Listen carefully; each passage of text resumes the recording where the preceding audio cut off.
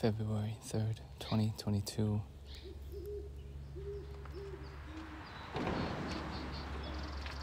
Two seventeen PM. Putah Creek. It's a scrub jay. But I am in the thicket next to the river. Next to the creek. And I am hearing some kind of owl. Definitely two of them. One is hooting, one sounds like it's cooing. I have no idea if there is a difference. I really hope you can hear that because that sounds amazing. So, I'm standing next to this river in hopes that if I follow their hoots, if I follow their calls, if I follow the sound, I can get as close as possible. But it sounds like they're very high, and in fact, it even sounds like they're on the south side of the creek, which is, of course, private. It's a privately owned piece of land. Um, we'll see how close I get to it. Right now, I feel very warm. It's a nice sun, sunny ray beaming down on me. I think the let's see what the weather is. The weather is maybe it's six. No, it's in Berkeley. Right now in Davis, it is 57 degrees. Uh, somewhat cloudy, but it's sunny right now. Wind is calm, though I am in the middle of the creek. So that's gonna be it. Let's try to get it one more time.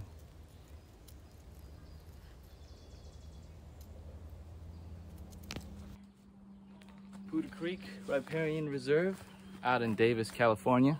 That is where I am.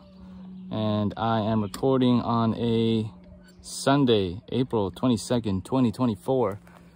And it is a great day to be outside, as you can tell by the people chatting, the dogs barking, and also we got some change in video quality from what had just been shown just now.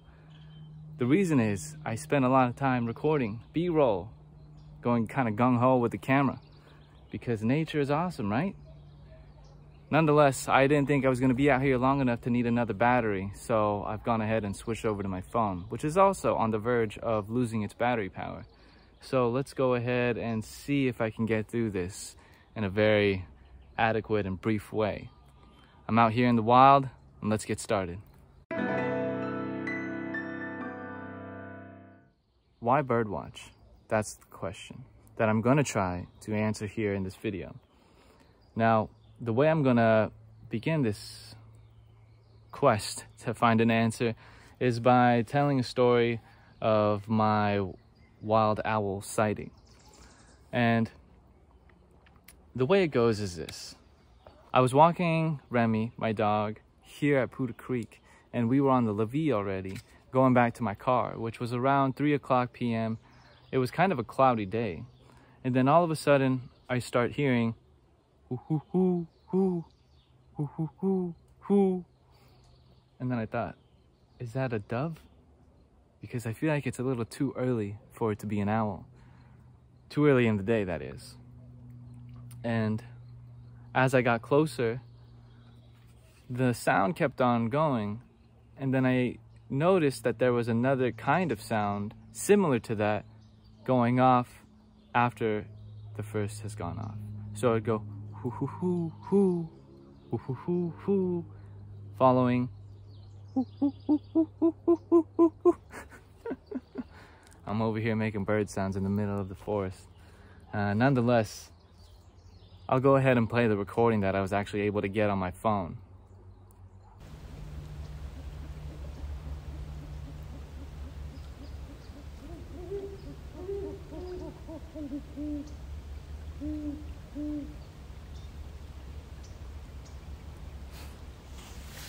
Now, I knew for a fact that it wasn't a dove at that point because it sounded too similar to an owl. And I had done research before moving to Davis about what kind of birds I'd be able to see. and owls were sighted throughout the city limits of Davis. And I thought, this is it. This is my chance. This is finally going to be the moment where I get to scratch off, see wild owl out in the wild off my bucket list of bird watching. So, the quest continued on. I knew, though, that the owl would be across the creek. As you can see, the creek is down here, and then down that way is the other side, which is privately owned property, which is, I think, maybe a farm. Nonetheless, they have tall trees there. I don't know what kind they are. And I just knew the sound was coming from there. So if I couldn't get as close as possible in terms of right under it, I thought I could at least get right in front of it. So I tried to triangulate the location of the owl just by listening to it. I would stop every five minutes or so, take a beat, wait to hear it, then continue on. And then I finally got to a point where I was just right off course. And then, of course, I course corrected myself and got right in front of it.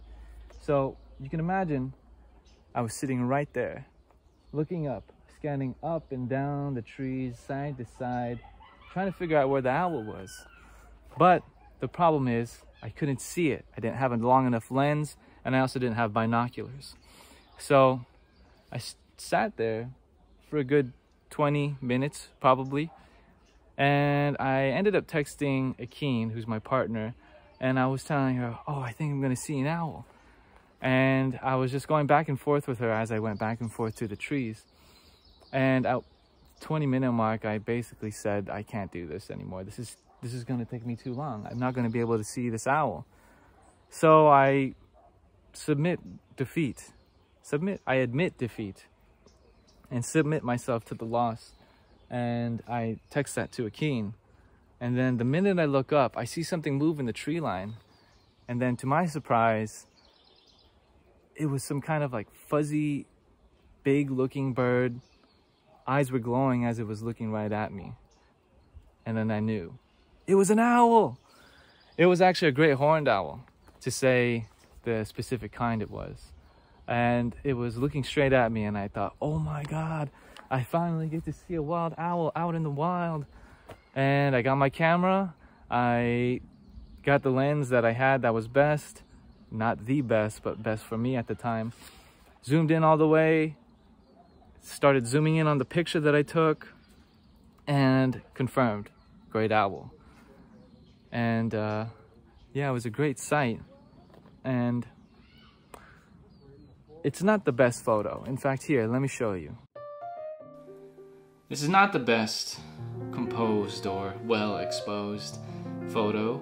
There's a lot of foliage in front of the owl and I'm pretty far away.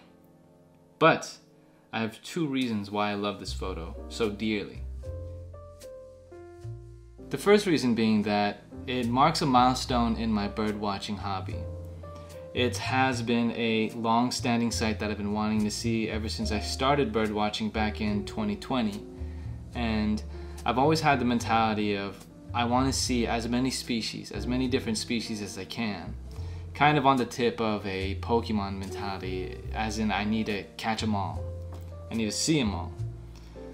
But I've always had in the back of my mind this desire to see a specific species, and in this case, it was an owl. I didn't want to see them out in a zoo, nor a conservatory for raptors or anything of the sort. I wanted to see it out in the wild, which brings me to reason number two. Bird watching is a way for me to get outside, out in nature, out in the wild. And that very act in itself is a reason why I love birdwatching. I think of it as a sort of performance. Some people might see a bird, I might see a bird, and I might read them in a way of taking notes of their physical characteristics or the behavior and then I go into a guidebook or the internet and then I try to identify them. And all their definitive aspects, I know this bird so well. But the truth of the matter is I don't, because there's just so much more that I can learn. And I attribute it to the idea of sometimes birds, they get named a spe specific species, but then they get renamed And sometimes they may even move from one genus to another. And there has been instances where a kind of behavior is misunderstood and then it turns out that that behavior is something totally different. Now this happens over a long period of time, but it's that idea of re-understanding what we think that we know. That's so exciting to me because that's just a renewal of a relationship between myself and nature. That means that everything I do outside in nature is new. And it's just so exciting to me because I feel like I end up having a far greater relationship with nature. I start to try to understand it better because of this. And what's more exciting is the performance of not only watching the birds do their thing, but trying to get as close as possible without uninterrupting them, or without interrupting them, and without having them never want to come back to this environment ever again. It's that ability to, I don't want to say sneak, but coexist with them that really matters to me. And it kind of brings me to the idea of bird watching being a very particular outdoor activity for me that is more than just recreational. It's a way for me to bridge that recreational desire with a scientific curiosity. You bring those together, and for me, it makes the sublimity of nature, the sublime experience that the Romantics would talk about, a lot more worthwhile because it's not me just idolizing or idealizing what nature ought to be. It's what nature already is, if that makes sense. Hopefully it does.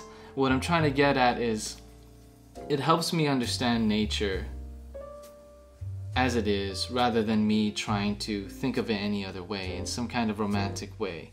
You know, like the wind whispering to me. The wind does not whisper, just goes.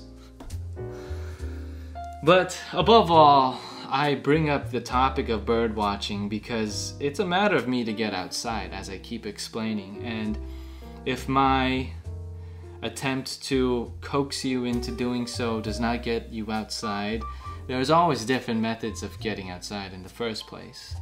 I like rock climbing, riding my bicycle, hiking, camping, going out with friends. I walk my dog every single day.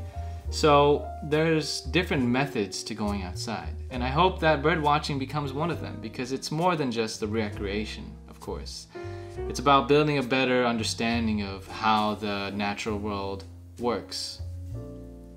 And yeah, I think that's all I wanted to say. I've been going over and over this part of the video. I think I might just be out of it because I went from outside to having my camera die to having my phone camera die, thankfully in a good talking segment and then now I'm trying to pick it all up back here at home in my dwellings. It's kind of hard to get back into that mindset, but I just wanted to try to make something worthwhile with this video, with this YouTube channel, because my last video was kind of on a different level. But despite the hiccup, I've got this done. Hopefully the next one, you'll still tune in. I know I won't be having this mistake again. And if I didn't explain well enough to get you outside, at least the visuals did, I hope. So, that being said, hopefully I see you out there. Be safe until then. See you out in the wild.